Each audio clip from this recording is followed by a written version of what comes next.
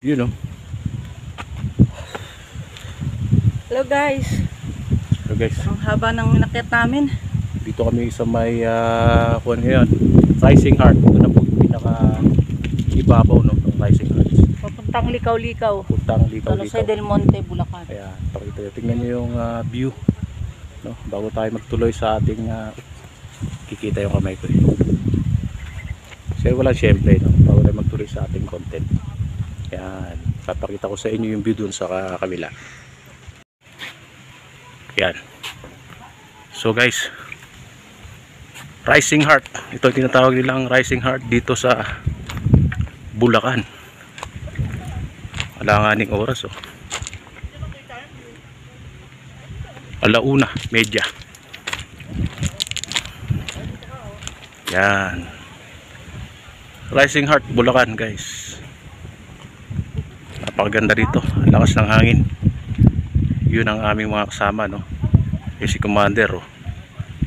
Yan. Very nice place guys. Kahit medyo tanghaling tapat, hindi mo ramdam yung init eh kasi mahangin dito lalo na siguro sa umaga tapos yung dapit hapon sa gabi pwede rin kitang kita siguro natin yung ilaw yung city doon yan. Rising Heart Bulacan guys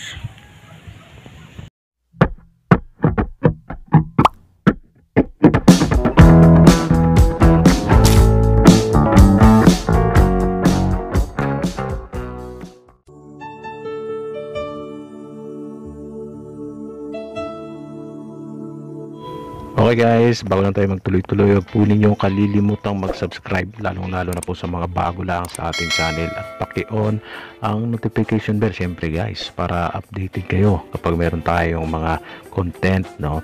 At mag-join na po kayo sa ating membership no? I-click nyo lang yung join at sundan ang mga instructions at uh, kayo po ay uh, magiging member ng ating channel. So ito guys no? 5 piso Pwede ba ang ah, 5 piso ninyo na katulad nito nakaganda ang kondisyon ay pwedeng ah, mapalitan ng ah, 500 hanggang 1,000 pesos. Siyempre naman guys, tama po yung inyong narinig. Basta, no, ay ah, ako po kasi ay ah, nangangailangan ng year 1995 to year 1999 na BSP series coins basta syempre ang kondisyon ay uh, at least guys no AU hanggang BU no? Uh, about uncirculated or at least guys Brilla uncirculated. Kung meron kayong uh, ganun na kondisyon bibiliin ko po sa inyo papalitan ko po sa inyo no? Depende po. At uh, yun na nga kung ganun ang kondisyon eh ipaki-post lamang sakali may online Facebook page at titignan ko po ang kondisyon no?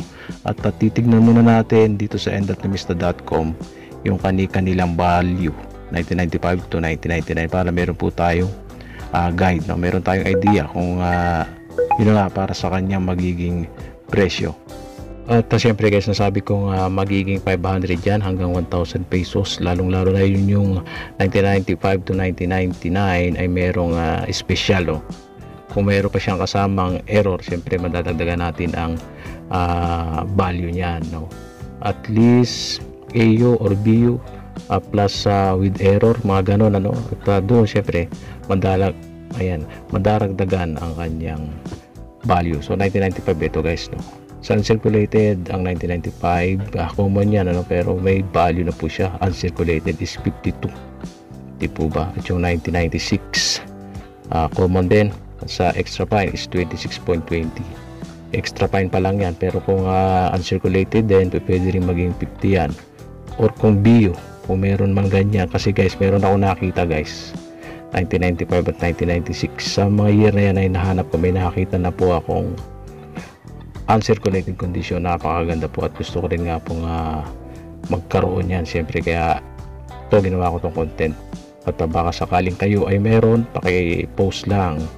Sakali may online Facebook page at pag-uusapan po natin itong 1997 ano, 38% uh, din common din po siya common naman po talaga itong uh, hinahanap ko na ito kailangan kasi uh, gusto pong magkaroon yung maganda kondisyon no uncirculated condition or at least BU kung meron man Tulad ng sabi ko, nakakita na ako eh, no?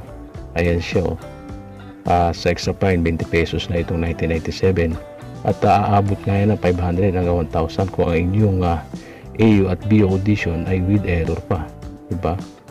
Ano yun eh, karagdagan yan sa kanyang ah, value niya. Lalong-lalo na po yung ah, magiging error niya ay medyo rare pa. Diba? Doon po tumataas kasi itong mga coins natin eh. At pag rin naman dito sa 1998, 20% siya. Maganda na rin ang condition sa uncirculated, 48.32 na. Itong uh, magiging transaction guys, syempre sa labas ng end.numista Mista, no? Ah, pinapakita ko lang sa inyo to para meron na po tayong idea at pwede natin gawing guide para doon po sa magiging ating ano transaction. Di po ba? Ah, yung mga value naman nito guys, eh, ano naman yan?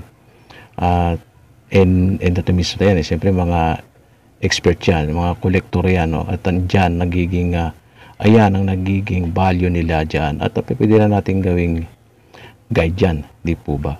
Ayan eh. Di ba? Uncirculated 48 sa 1998. Wala pang kasamang error yan. Di ba? Yung nga sabi ko. At hindi rin BU. Uncirculated pa nga lang is 48 na eh.